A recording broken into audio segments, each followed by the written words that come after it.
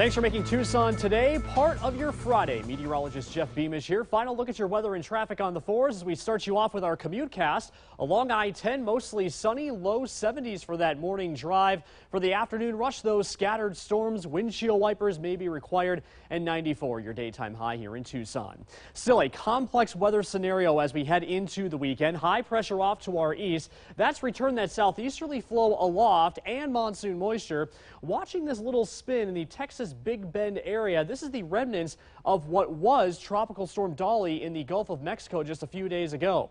That'll be steered into southern Arizona. So will ample moisture being supplied by Hurricane Norbert off Baja Sur. So a wet weekend on tap, and Norbert's really the big player here. A Category 1 hurricane, sustained winds 90 miles per hour. It will ride up the Baja coast as we're heading into the next 48 hours.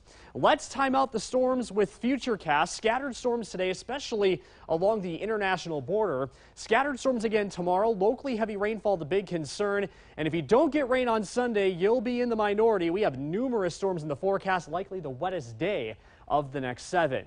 Saguaro soaker potential heading into the weekend. Most of us seeing one to two inches of rain.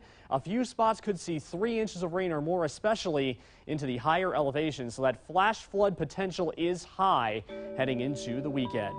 News 4 Tucson, extended forecast. Scattered storms next couple of days, low to mid 90s, cooling into the 80s on Sunday with numerous thunderstorms. We go scattered storms again on Monday and then the thunder threat and likely monsoon 2014 coming to an end the middle of next week.